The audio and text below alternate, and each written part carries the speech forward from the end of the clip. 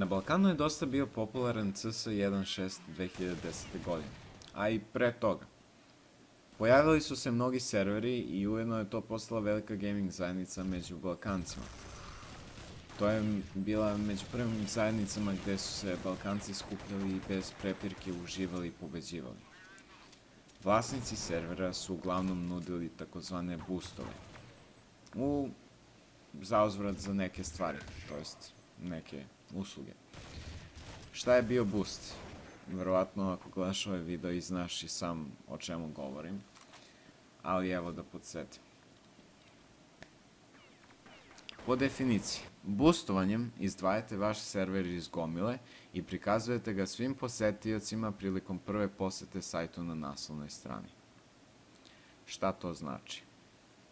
To znači da kada bi neki igrač, gamer, korisnik, izvadio svoj telefon i iskucao poruku, SMS poruku, danas niko to više ne radi, ali ajde, a, napisao bi poruku na taj taj određeni broj, koliko, kako izgleda format poruke, kako je već to bilo, 100 GTRS, onda IP adresa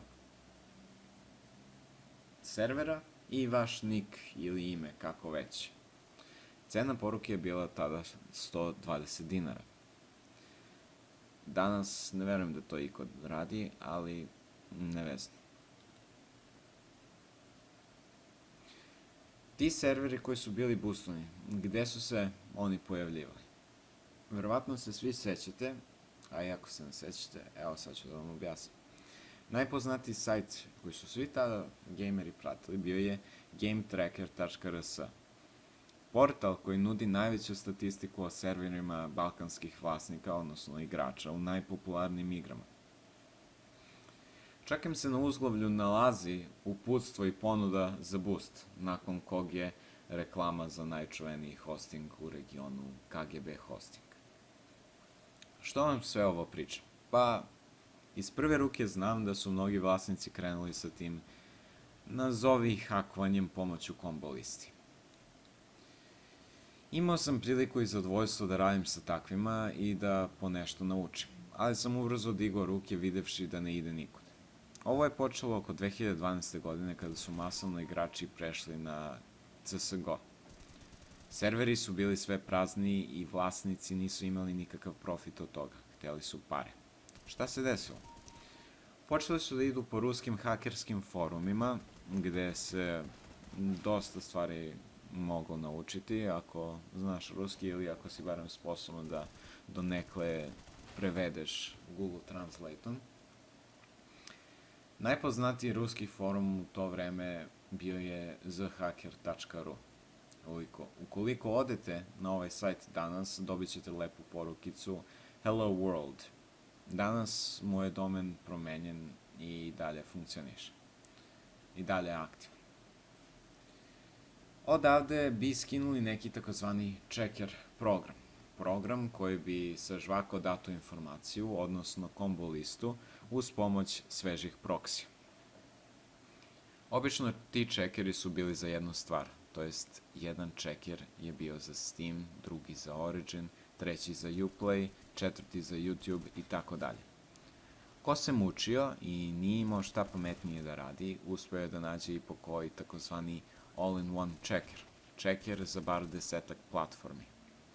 Ubrzo je to svima bilo dostupno, naravno.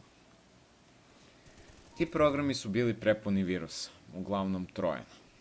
I zašto su ljudi otvarali? Pa svidela im se ideja da mogu potencijalno nešto da zarade. Iako bi im se prepunio računar virusima. Kako je to funkcionisalo? Da krenemo prvo od kombo listi.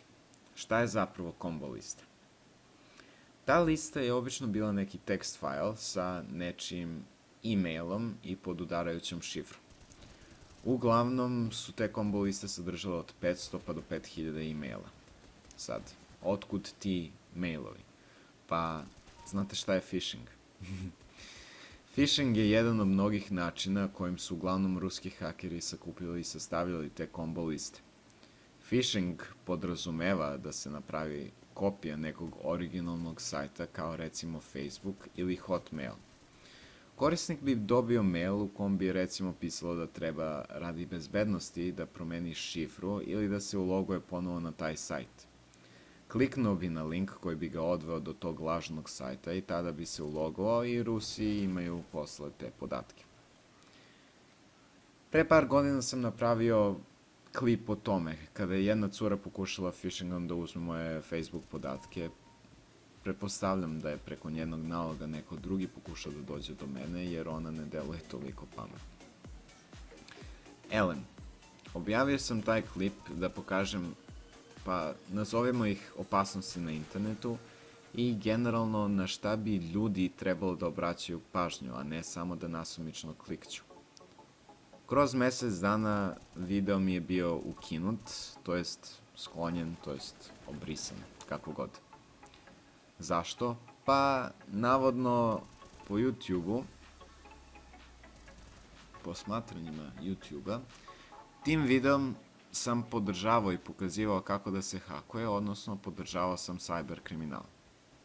Tako da, nadam se da to neće da se ponovi sa ovim klipom i zato kažem, ovaj video pravim ne da bih vas učio kako da hakujete, već da vam objasnim kako je to zapravo funkcionisalo i šta se zapravo dešavalo iza kulisa. Sad kad smo napravili malu digresiju, da se vratimo kombo listi.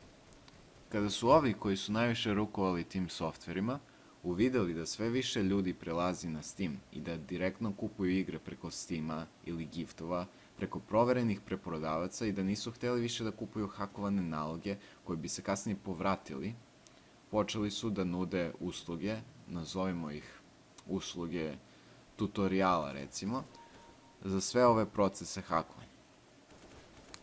Klinci od po 10, 11, 12 godina su se najviše pecali na to. Kaže mu lik, e, brate, idi uplati u poštu na taj taj račun, recimo 1000 dinara. On uplati i posle mu ovaj po dogovoru kaže kako da rukuje tim softverima. Kako je to izgledalo? Taj čeker obično bude ceo na ruskom jeziku. I kaže mu, ovde, brate, imaš 100 dugmića, ali ti nije bitno sve da znaš, nego evo, gledaj mene. Pa mu kaže, ubaci ovde sveže proksije, ubaci ovde combo listu, ovamo izabereš da li hoćeš da ti traži Steam, Facebook, Origin ili neku drugu platformu i pustiš ga i čekaš nekoliko sati da prođe cela lista. Šta tad program radi? Program čekira mailove, combo listu. Što znači, ulazi na svaki email iz liste i traži da li na emailu postoji podatak vezan za Steam, Origin, Facebook, odnosno naloge, to jest platforme koje ste izabrali. Ukoliko ima, reći će da sadrži taj taj mail za to i to. Kao recimo da kad biste upalili vaš mail, Gmail ili šta već, samo ukucali neki search bar za pretragu da ukucate neki ime, neko ime, recimo dog ili ti mačka i našli biste posle mačku ili psa, ako imate to na mailu. Tada su masovno počele da se pojavljaju grupe na Facebooku vezane za te naloge, tradovanje Steam naloga, prodaja, prodaja combo listi i tako dalje. Naravno, mogu reći da 80% članova tih grupa, ako ne i više, nisu imali blage veze šta rade i, kako to obično biva, mnogi su to iskoristili. Recimo, nekad bi neko uplatio u pošti, opet 500 dinara za kombo listu od 1000 emaila. I dobili bi kombo listu koja je već dosta puta pretražena, to jest iskorišćena je. Ili, još grđe, dobili bi tekst file sa 1000 reda upitnika. Šta tada biva? A, skamer, a, prijavite ga, a, ne verujte njemu, skamovao me, vrati pare, lopovo, i tada bi krenule opet one psovke, ređenje na nacionalnoj osnovi i tako dalje, tako dalje. Ubrzo se sve to raspalo, ko je bio pametan, iskoristio ih je, napravio neki profit, neki su nastavili, a neki počeli 2013. 14. da prodaju giftove za Steam, postali su preprodavci i generalno ljudi su sve više prelazili na Steam i nisu prihvatali nisu prihvatili niti ih je interesovala kupovina hakovanih naloga. Te grupe su danas mrtve, koriste se samo da bi pojedinci spamovali sa svojim ukradenim klipovima na, na YouTube-u i za reklame drugih stranica. Šta se dešavalo sa tim vlasnicima servera? Neki su počeli da preprodaju giftove na Steamu, recimo kad je popust, kupi neke igre po nižoj ceni i posle ti proda po punoj ceni ikru i eto njemu profit. A ostali, pa... Već sam vam dosta rekao što nije trebalo i nadam se da niko neće da me linčuje zbog toga ili da mi YouTube briše ovaj video.